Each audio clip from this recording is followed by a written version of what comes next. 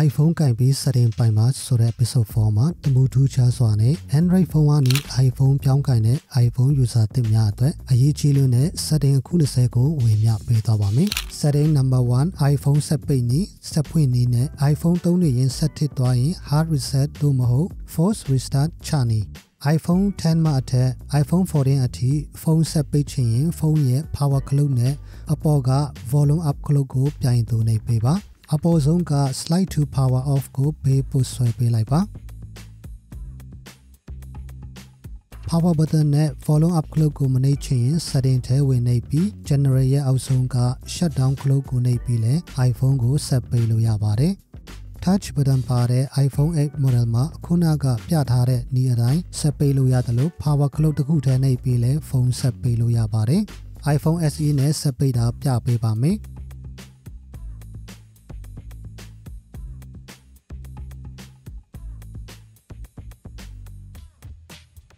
iPhone ဆက်ပြန်ဖွင့်နည်းကဘယ် iPhone model မဆို power clock ဖွင့်ပြီးဆက်ပြန်ဖွင့်လို့ရပါတယ်။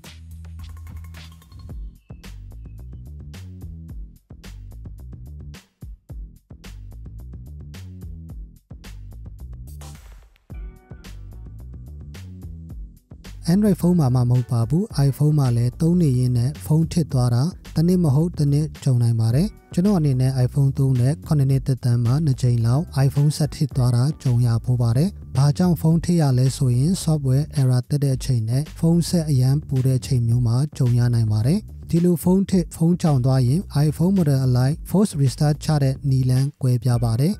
iPhone 10ကနေ14 model အတွက် power up clock ကိုတစ်ချက်နှိပ်ပြီး volume down clock ကိုတစ်ချက်နှိပ် power clock ကို Apple logo ပေါ်တဲ့ထိနှိပ်ထားပြီးတော့ power ပြန်တက်လာပြီဆိုရင် force restart ချတာအောင်မြင်သွားပါပြီပုံမှန်တိုင်းကို iPhone ကိုပြန်လည်သုံးစွဲလို့ရသွားပါပြီ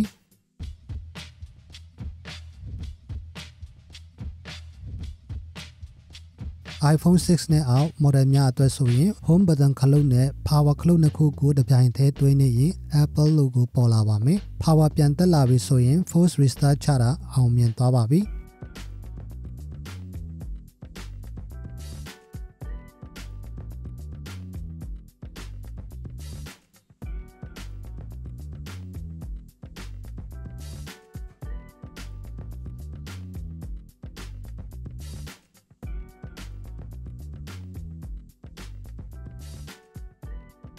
setting number 2 call setting call setting မှာအုပ်စု5မျိုးတွေ့ရပါမယ်ပထမအသားမှာတွေ့ရတဲ့ favorite ကဦးစားပေးဖုန်းခေါ်ဆိုမဲ့သူများကိုတည်တံအုပ်စုဖွဲ့ထားနိုင်ပါတယ်အပေါ်မှာတွေ့ရတဲ့ပေါင်းကလုတ်ကိုနှိပ်ပြီးဦးစားပေးစရင်မှာထားနိုင်ပါတယ် reason မှာကိုယ့်ဘက်ကဖုန်းခေါ်ဆိုမှုကိုမှတ်တမ်းတင်ထားတာပါဖုန်းခေါ်ဆိုမှုတစ်ခုကိုဘယ်ဘက်ပုတ်ဆွဲလိုက်ရင်ပေါ်လာတဲ့ delete ကိုနှိပ်ပြီးဖြတ်လို့ရပါတယ် တခါတည်းဖြတ်ချင်ရင်အပေါ်ညာဘက်တောင်းက edit နေရာမှာနှိပ်ပြီးဘက်ဘက်တောင်းက clear ကိုနှိပ်ရင် reason ဆိုတဲ့ဖုန်းခေါ်ဆိုမှုမှတ်တမ်းရှိသမျှကိုတခါတည်းဖြတ်ချနိုင်ပါတယ်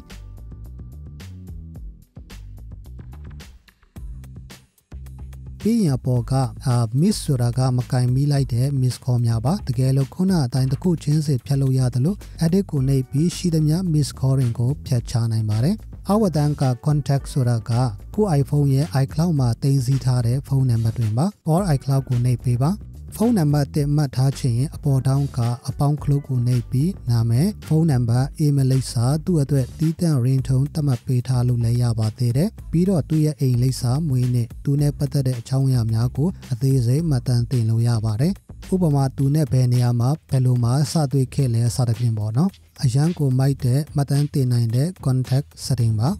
keypad ကတော့ Android ဖုန်းတွေနဲ့ခက်ဆင်ဆင်မှာခေါ်ဆိုမဲ့ဖုန်းနံပါတ်ကိုရိုက်ပြီးဖုန်းခေါ်မလားမခေါ်သေးပဲ add number နှိပ်ပြီး create new contact ကိုရွေးပြီးတော့နာမည်အသစ်နဲ့တင်စီမလားမဟုတ်ရင် add to existing contact ဆိုတဲ့သူ့ဖုန်းနံပါတ်အခြားတစ်ခုတင်စီထားခဲ့ဖို့ရင်ပေါင်းထည့်မလားရွေးချယ်လို့ရပါသေးတယ် လူတချို့ကဖုန်း SIM ကတခုထက်မကရှိကြတော့ add to existing contact မှာပေါင်းထည့်ရတာကရှာရတဲ့ခါမှာပို့ပြီးတော့ဆင်ပြေပါတယ် voice mail ကတော့အသုံးပြုသူအရန်နေပါတယ်အချင်းချုံရှင်းပြပေးပါမယ်ဒီ voice mail လှုပ်ဆောင်ချက်က voice message တခုခုကိုယ့်ဘက်ကကြိုတင်အတန်တွင်းထားနိုင်တာမျိုးပါတယောက်ယောက်ကဖုန်းခေါ်ဆိုတဲ့ချိန်မှာကိုဖုန်းမကင်ဖြစ်ရင်ကိုတွင်းထားတဲ့ voice message ကအလိုအလျှောက်ဖြေချပေးတာပါ ဒီလောက်ဆောင်ချက်ကိုအသုံးပြုချင်ရင် voice call voice mail ကိုခေါ်ဆိုပါ grading ဆိုတာကြာလာမယ် default ရွေးထားရင် Apple ဘက်ကကြိုတင်အတန်တွင်းထားတဲ့ voice message ဖြစ်ပါတယ် custom ကိုရွေးရင်ကိုယ့်အတန်နဲ့အတန်ကြိုတင်တွင်းလို့ရပါတယ်အတန်တွင်းချင်ရင် record နှိပ်ပြီးတော့အတန်တွင်းပါ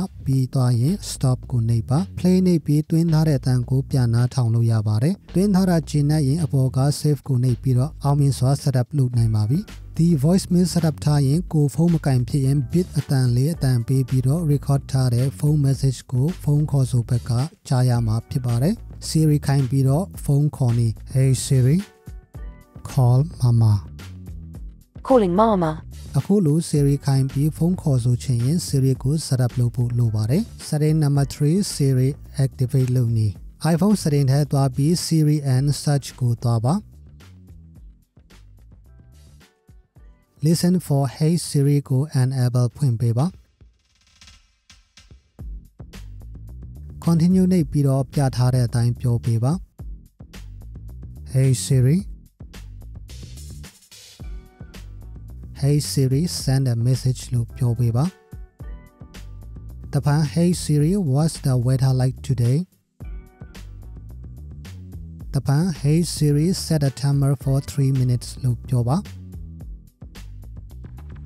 နောက်ဆုံးအနေနဲ့ Hey Siri play some music ပြောပြီး done ပေါ်ရင်အောင်မြင်သွားပါပြီ Siri and search setting ထဲကိုဝင်ကြည့်ရင်လေးလာစရာအများကြီးရှိပါသေးတယ်ဗီဒီယိုအရန်မတရားရှိသွားမှာကြောင့်ဒီ Siri နဲ့ပတ်သက်ပြီးတော့ဗီဒီယိုတည်တန်းနောက်တစ်ပုတ်နဲ့ထပ်ရှင်းပြပေးချင်ပါတယ်အခုလောလောဆယ်အခြေခံသုံးစွဲနိုင်ဖို့အနေငယ်ပြောပြပေးပါမယ်အပေါ်ဆုံးက listen for hey Siri စင်ကလုတ်ကိုပိတ်ချလိုက်ရင် Siri activation ပြုလုပ်ထားတာပြတ်သွားပါမယ်ဒါဆိုရင်တော့ခုနအတိုင်း activation ထပ်ပြီးတော့ပြုလုပ်ပေးရမှာဖြစ်ပါတယ် ဒုတိယအတန်းက press side button for Siri ကိုဖွင့်ပေးလိုက်ရင် iPhone 10နဲ့အထက် iPhone တွေမှာ power clock ကိုဖိလိုက်ရင် Siri တက်လာမှာဖြစ်ပါတယ်။ iPhone အနိမ့် model များမှာဆိုရင် home clock ဖြစ်ပါတယ်။ကျွန်တော်ကတော့ဒါကိုမကြိုက်လို့ပိတ်ထားတာပါ။တတိယအတန်းမှာ allow Siri when lock ဆိုတာက iPhone screen ပိတ်ထားလဲ Siri ခေါ်လို့ရတဲ့ function ပါ။ဒီအချက်ကိုလည်းကျွန်တော်ကမကြိုက်လို့ပိတ်ထားပါတယ်။ language မှာ Apple ဘက်ကတရားဝင်ခွင့်ပြုတဲ့ဘာသာစကားကိုရွေးချယ်နိုင်ပါတယ်။ ကျွန်တော်ကတော့ American English စကားထဲ British English စကားကိုပူပြီးသဘောကျလို့ UK ကိုသမင်ရွေးထားတာပါ Siri Voice မှာ Voice 1ဆိုရင်အမျိုးသမီးအတန်ဖြစ်ပြီးတော့ Voice 2မှာအမျိုးသားအတန်ဖြစ်ပါတယ်ကျွန်တော်ကတော့အားလက်ချိန်မှာတသွားပြီးပောက်ကရသွားနောက်လေးရှိတာကြောင့် Voice 1ကိုရွေးချယ်ထားပါတယ် Setting number 4 iPhone message setting iPhone နဲ့ message ပို့ချင်ရင်ဒါလေးကိုနှိပ်ပြီးတော့ခဲတံလေးခွက်နဲ့ထဲကိုဝင်ပေးပါ အပေါင်းနဲ့ဆက်ဝိုင်းကိုနှိပ်ပြီးတော့ကိုစာပို့ချင်တဲ့သူရဲ့ဖုန်းနံပါတ်ကိုရှာနိုင်တယ်လို့ keyboard မှာနာမည်အစားကိုရရင်လည်း suggestion တက်လာပါတယ်အခုလိုပေါ်လာရင် confirm ပေးလိုက်ပါတယောက်ထက်ပူပြီးတော့စာပို့ချင်တယ်ဆိုရင်ခုနအတိုင်းလိုနံပါတ်တစ်ခုထပ်ရိုက်ပေးလိုက်ရုံပါပဲပို့ချင်တဲ့စာကိုရိုက်ထည့်ပေးရုံပါပဲပေးသွားရင်ဘေးနာကအစိမ်းရောင်ဆက်ဝိုင်းလေးကိုတစ်ချက်နှိပ်ပေးလိုက်ရင်စာပေးပို့နိုင်ပါတယ် စာမပို့ချင်ရင်အခုလိုစာရိုက်တဲ့အကွက်မှာတွေ့ရတဲ့ my icon လေးကိုနှိပ်ပြီးတွင်းထားတဲ့အတန်ဖိုင်ကိုလည်းပို့လို့ရပါသေးတယ်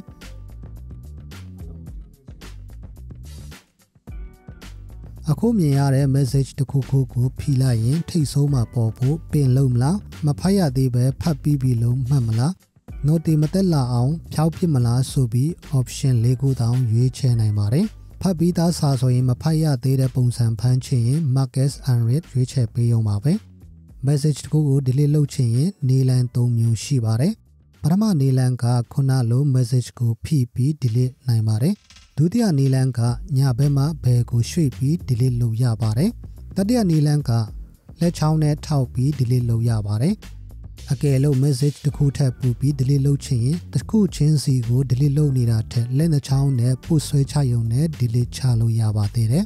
setting number 5မတေးမဖြစ် camera setting 4K quality နဲ့မှရိုက်ကိုချင်ရင် setting ထဲသွားပြီး camera ကိုရှာပါတွေးပြီးဆိုရင်အထဲကိုဝင်ပါ format နေရာမှာ high efficiency နဲ့ most compatible ကိုတွေ့ရပါမယ် iPhone ရဲ့ပထမဆုံး default setting မှာ high efficiency ထားပေးပါတယ်။ Google တာမန် iPhone user ဆိုရင် most compatible ကိုသာရွေးထားပေးလိုက်ပါ။တာမန် iPhone user ထက်ပိုတဲ့ video creator လုပ်ချင်တဲ့နေငယ်နေမငယ်များကိုအကြံနည်းနည်းထပ်ပေးချင်ပါတယ်။ high efficiency နဲ့ရိုက်ထားတဲ့ video ကို spec နေတဲ့ Windows PC မှာ video editing လုပ်ရင်အဆင်မပြေတာကြုံကြရပါတယ်။ဒါကြောင့် iPhone နဲ့ video ရိုက်မယ် Windows PC မှာ edit ချမယ်ဆိုရင် most compatible ကိုရွေးချယ်သင့်ပါတယ် record video မှာရွေးချယ်စရာတွင်ရှိနေပါတယ်အခုချိန်မှာ720နဲ့ရိုက်တာတော်တော်လေးရှားသွားပါပြီဖြစ်နိုင်တော့အနည်းဆုံး1080နဲ့ရိုက်စေချင်ပါတယ် Facebook မှာတင်ဖို့အပျော်ရိုက်ကူမယ် spot ဖြစ်မှလည်းကြိုက်တယ်ဆိုရင်1080ကိုမှ60 frame per second ကိုရွေးချယ်သင့်ပါတယ် 4K ကိုမှရိုက်ချင်တယ်ဆိုရင် 4K 30 frame per second ရွေးပေးပါ 4K 60 frame per second ကိုရွေးလို့မရဘူးလားဆိုရင်ဒီဗီဒီယိုကိုစိတ်တိုင်းကြ video editing ချင်ရင်ရွေးချယ်နိုင်ပါတယ်ဒီ record slow motion မှာ1080 120 frame per second ကိုရွေးချယ်နိုင်ပါတယ် record stereo sound မှာအတန်ပိုပြီးကြည်တော့ပို on ပေးလိုက်ပါ grade ကိုဖွင့်ပေးပါအပြင်မှာထက်အမှန်ထက်မှာပူချောတဲ့ခံစားရရင် mirror front camera ကိုဖွင့်ပေးပါ iPhone video setting နဲ့ပတ်သက်ပြီးဒီထက်သိချင်ရင် YouTube channel မှာအရင်ကဝေမျှပေးထားတာရှိပါတယ်ရှာဖွေပြီးကြည့်ပေးကြပါနော်အခု camera setting မှာချိန်ထားပြီးပြီဆိုရင်ထပ်ပြီး video setting အနည်းငယ်တချို့ပြောပြပေးချင်ပါတယ် setting number 6 normal video ရိုက်နည်းအခုမြင်ရတာကပုံမှန်ဗီဒီယိုရိုက်လို့ရတဲ့အနေထားပါဒီထက်မြင်ကွင်းကျက်ရိုက်ချင်ရင်0.5ကိုရွေးချယ်နိုင်ပါတယ် ဗီဒီယိုမရိုက်ကူးခင်မှာပတ်ဝန်းကျင်အလင်းကိုလိုက်ပြီးအခုလိုအလင်းအမောင်ကိုချိန်နေလို့ရပါသေးတယ်ဗီဒီယိုရိုက်ကူးနေတဲ့အချိန်မှာဘေးနားကအဖြူဆက်ဝိုင်းကိုနှိပ်ပြီးဓာတ်ပုံရိုက်ကူးနိုင်ပါသေးတယ်ဗီဒီယိုရိုက်ကူးနေတဲ့အချိန်မှာအခုလိုပုံစံမပြတ်စတိုင်ကြကြ zoom ကစားလို့ရပါတယ်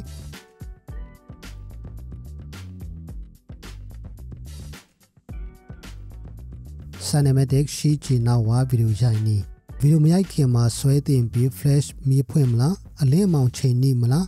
အပါချာကိုလည်းစိတ်ကြိုက်ကစားမလားအစတဖြင့်ပတ်ဝန်းကျင်လေးရောင်နဲ့လိုက်ပြီးနေတဲ့တလူကလီလို့ရပါတယ် slow motion ဆိုတဲ့အနေရိုက်ကွက်တွင်ရိုက်ကူးခြင်းလဲခုနအတိုင်းချိန်နေလို့ရပါတယ် time lapse ဆိုတာကကြော်ရစ်တဲ့ပုံစံမျိုးရိုက်ကူးခြင်းလဲခုနအတိုင်းအလင်းအမောင်ချိန်နေလို့ရပါတယ် setting number 7 iPhone photo ရိုက်နေကောင်းပါပြီအခုဓာတ်ပုံရိုက်နေတဲ့အကြောင်းသွားရအောင်ပါ ဓာတ်ပုံကိုမြင်ကွင်းကျက်ရိုက်ချင်ရင်0.5နေရာလေးကိုထောက်ပြီးရှိုင်းနိုင်ပါတယ်ဖိုတိုနေရာကိုမလွတ်ပဲဖိထားရင်ဗီဒီယိုရိုက်ကူပေးပါတယ်ဒါလည်းတကယ်ကိုသုံးဝင်တဲ့ function လေးတစ်ခုပါ zoom ဆွဲပြီးဓာတ်ပုံရိုက်ချင်ရင်ဒီလိုအသားလေးဆွဲတင်ပြီး zoom ဆွဲပြီးရှိုက်ကူနိုင်ပါတယ်အခုလို screen အပေါ်ဆွဲတင်လိုက်ရင် flash me auto ဖွင့်မလားအမြဲတမ်းဖွင့်မလားပိတ်မလားရွေးချယ်နိုင်ပါသေးတယ်ကျွန်တော်အနေနဲ့အမြဲတမ်း on ထားပေးတာအားမပေးချင်ပါဘူး အလင်းရောင်ရှိရတဲ့ flash me ဖွင့်ပြီးအရိုက်ခံရတာကတော်တော်ကိုအဆင်မပြေတာပါဒီ flash shortcut ကိုအပေါ်ဘာသာမှာလည်းတွေ့နိုင်ပါတယ်ပြီးတော့ဘေးနားမှာ live photo ကိုအဖွင့်အပိတ်ရိုက်ကူးနိုင်ပါတယ် live photo function ဖွင့်ပြီးရိုက်ကူးထားတဲ့ဓာတ်ပုံကိုအခုလိုထောက်လိုက်ရင်ဗီဒီယိုလိုလှုပ်ရှားနေပါတယ်ကျွန်တော်ကတော့ဒီ function ကိုရှမ်းသဘောကျပါတယ်ဘာဖြစ်လို့လဲဆိုရင်မျက်စိမိတ်တာမျိုးဆိုရင်မျက်စိဖွင့်ထားတဲ့တနေရာရာကိုပြန်ရွေးချယ်နိုင်လို့ပါ ဒီ live function ကိုလည်းအပေါ်ဘာတန်ညာဘက်ထောင်းမှာတွေ့နိုင်ပါတယ်အခုဒီနေရာမှာဝင်ပြီးလဲကိုနေတဲ့ရင်ရွေးချယ်နိုင်ပါသေးတယ်ဒီနေရာက ရှိုက်ကူးထားတဲ့ဓာတ်ပုံ site ကိုရွေးချယ်နိုင်ပါတယ်ဒီအပေါင်းခလုတ်လေးကဓာတ်ပုံရိုက်ကူးတဲ့အခါဖြစ်ဖြစ်မရိုက်ကူးခင်လက်တစ်ချောင်းနဲ့ထောက်ပြီးမိလုံးအထက်အောက်အလင်းအမောင်းချိန်ညီတဲ့ function ပါဒီအပေါင်းခလုတ်မှာလည်းစိတ်ကြိုက်ချိန်ညီလို့ရပါတယ်ဒီခလုတ်လေးကခြံမှာလောက်ခေါ်ပါတယ်အချိန်ကို3စက္ကန့်10စက္ကန့်သတ်မှတ်ပြီးဓာတ်ပုံရိုက်ကူးလို့ရပါတယ်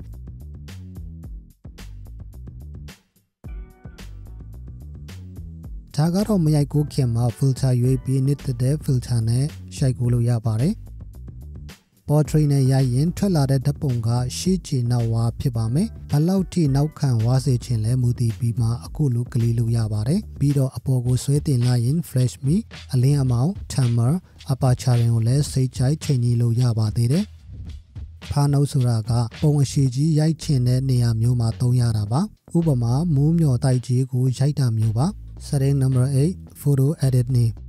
setting ချိန်ဖို့အချိန်မရဘူးအမြန်ရိုက်လိုက်ရတဲ့ဓာတ်ပုံတွေစိတ်တိုင်းမကြရင်ကုစိတ်ကြိုက်တပံ photo ပြန် edit ချလို့ရပါတယ်ဥပမာ portrait တပုံရိုက်လိုက်တဲ့ဆိုပါစို့ဒါကိုစိတ်တိုင်းမကြရင် edit ထဲဝင်ပြီး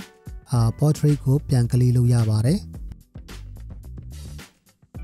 ပြီးကြံတဲ့အောက်အသားမှာတွေ့ရတဲ့ function တွေနဲ့အလင်းအမောင်ထမ်းညိမလား filter ကစားမလား ဓာတ်ပုံကို crop လုပ်မလားဓာတ်ပုံကိုအထက်အောက်ပြောင်းပြန်လန်မလားဘယ်မှညာပြောင်းမလားနေတဲ့တလို့ကလီလို့ရပါတယ် portrait မှာမဟုတ်ပါဘူးပုံမှန်ဓာတ်ပုံက live ဓာတ်ပုံပါနေတဲ့တလို့ထပ်ပြီးတော့ကစားလို့ရပါတယ်စရင် number 9 video edit နေ iPhone နဲ့ရိုက်ထားတဲ့ဗီဒီယိုကိုစိတ်တိုင်းမကြရင် edit ကိုနှိပ်ပါမလိုအပ်တဲ့အပိုင်းတွေကိုအခုလိုဖြတ်ချလို့ရပါတယ် save video as new clip ရွေးရင်ငကူ file ကိုလည်းတင်ထားပေးမယ်အခုဖြတ်ထားတဲ့ clip ကိုလည်းတီးတန့်တင်ပေးပါမယ် save video နှိပ်လိုက်ရင်ငကူ file နေရာမှာအစားထိုးသွားပါမယ်ဒီဇိုင်း color ကိုစိတ်တိုင်းမကျသေးရင်မိသည့်အနေရာမှာအလင်းအမောင်း color စိတ်ကြိုက်ချိန်ကြီးလို့ရပါတယ် filter မှာလည်းအလွယ်တကူရွေးချယ်နိုင်ပါတယ်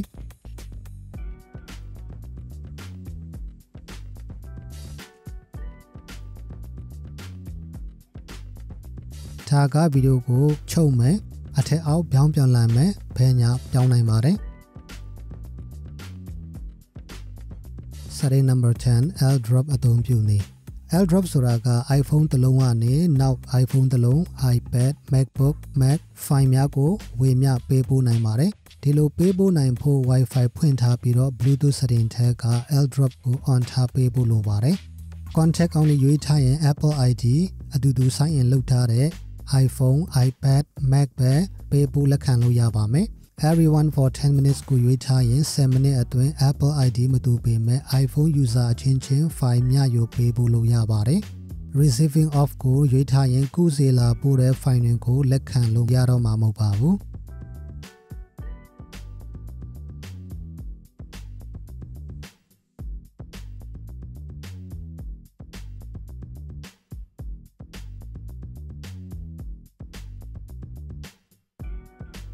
Setting number 11 Screen mirroring အသုံးပြုနေဒီလှုပ်ဆောင်ချက်က iPhone တစ်လုံးကနေနောက် iPhone တစ်လုံးဖြစ်ဖြစ် iPad Mac မှာဓာတ်ပုံဗီဒီယိုကိုကြည့်ရှုလို့ရပါတယ်။ခု iPad, iMac, MacBook ရှိရင် iPhone နဲ့ movie ကြည့်တာထက် screen share နှိပ်ပြီးအခုလိုမြင်ကွင်းကြကြနဲ့ကြည့်လို့ရပါတယ်။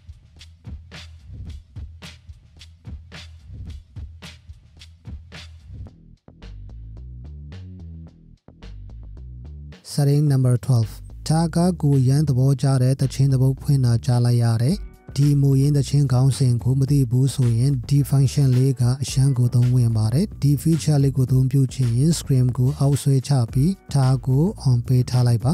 အခုကြားရတဲ့တခြင်းကိုဘယ်သူဆိုသားလဲသိလို့ရပါပြီဗျ setting number 13ညမှာ keyboard ထည့်နေ iPhone setting ထက်က general ကိုသွားပါ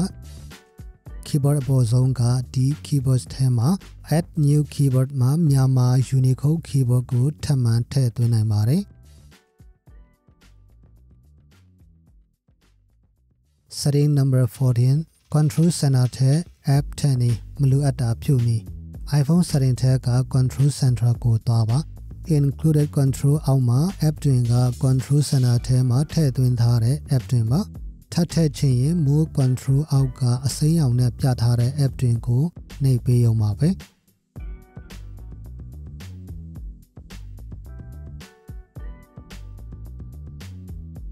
မလိုအပ်ဘူးထင်တဲ့ app ဆိုရင်အပြန်ဖြုတ်နိုင်ပါတယ် Setting number 15 accessibility တဲ့ shortcut တဲ့နီ iPhone setting ချက်က accessibility တဲ့နှိပ်ပါ accessibility shortcut တွေ့အောင်အောက်ဘက်ကိုဆင်ပေးပါတွေးပြီးဆိုရင်အထဲဝင်ပြီးကိုယ့်အတွက်လိုအပ်မဲ့ app တွင်ကိုအမှန်ချစ်ရွေးချနိုင်ပါတယ်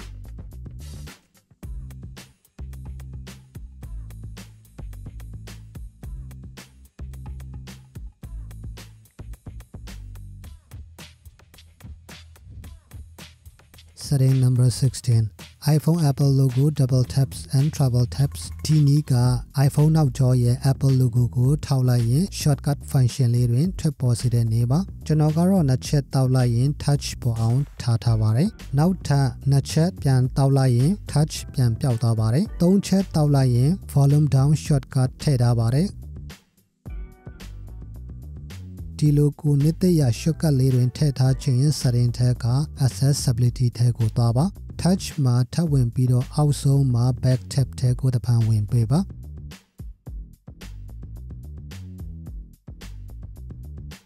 double tap နေရာမှာကိုနှစ်သက်ရ shortcut function တခုထည့်ထားနိုင်ပါတယ်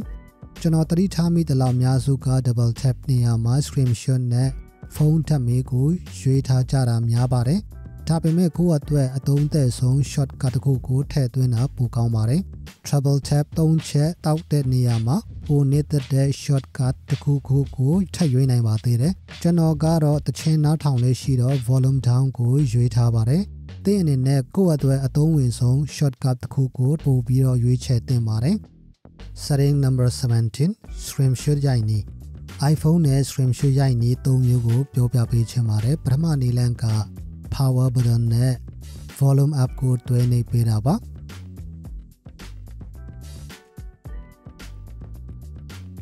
ဒုတိယနည်းလမ်းက iPhone နောက်ကျောကိုခောက်ပြီး screenshot ရိုက်နိုင်တဲ့ back tab နေပါ setting number 16မှာ double tap မဟုတ်ရင် treble tap မှာ shortcut ထည့်သွင်းရင်အခုလိုရိုက်ကူးနိုင်ပါတယ်တတိယနည်းက assistive touch မှာ shortcut ထည့်ပြီးအခုလို screenshot ရိုက်နိုင်ပါတယ်ဒီ assistive touch မှာ shortcut ထည့်သွင်းထားခြင်းရင် setting accessibility touch assistive touch ကို on ပေးလိုက်ပါ custom action နေရာမှာ single tap double tap long press နေရာမှာအခုမြင်ရတဲ့ custom action နေရာမှာ single tap double tap long press မှာ shortcut ၃မျိုးထည့်သွင်းနိုင်ပါတယ်ကျွန်တော်ကတော့ single tap မှာ open menu ပေးထားပါတယ် double tap မှာ screenshot ပေးထားတယ် long press မှာ screen lock ကိုရွေးပေးထားပါတယ်ဒီ touch ကိုအကြာကြီးဖိထားရင် phone screen ပိတ်သွားမှာဖြစ်ပါတယ် setting number 18 half screen အသုံးပြုနေ phone screen size ကြီးတာကောင်းပေမဲ့အားနည်းချက်ကလက်တစ်ဘက်နဲ့သုံးဆွဲမယ်ဆိုရင်အဆင်မပြေတာသတိထားမိပါမယ်ဒီပုံစံနဲ့ဖုန်းကင်တွေ့တဲ့အချိန်အခု chat GPT ကိုဝင်ကလေးချင်နေဆိုပါစို့ လက်မကိုကာကာကြီးဆက်နေရပြီးဒါတော့မမိသေးဘူးဗျဒီလိုဖြစ်မျိုးဆိုရင်ဟောဒီလိုအောက်ဆွဲချပြီး half screen setting ချနေပြီးဖို့လိုပါတယ်ဒီလိုအသုံးပြုချင်တယ်ဆိုရင် setting ထက်က accessibility ထဲဝင်ပါ touch မှာ reachability ကို on ထားလိုက်ရင်အခုလိုလက်မကိုဆွဲဆန့်နေစရာမလိုတော့ပါဘူး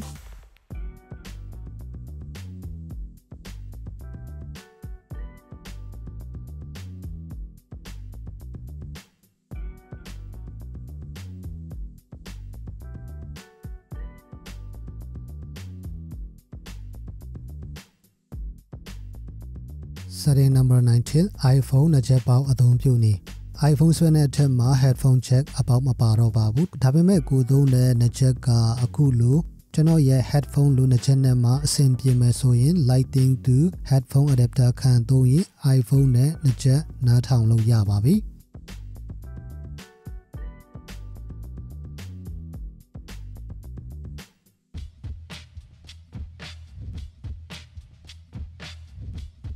setting number 20 note scan document အသုံးပြုနေ iPhone Note ဆိုတာကမတ်စုဆိုတာထက်အများကြီးပိုသာပါတယ်အခု Note ထဲမှာပါတဲ့ scan document camera နဲ့အရေးကြီးတဲ့စာရွက်စာတမ်းတွေကိုအခုလိုသိမ်းဆည်းထားနိုင်ပါတယ်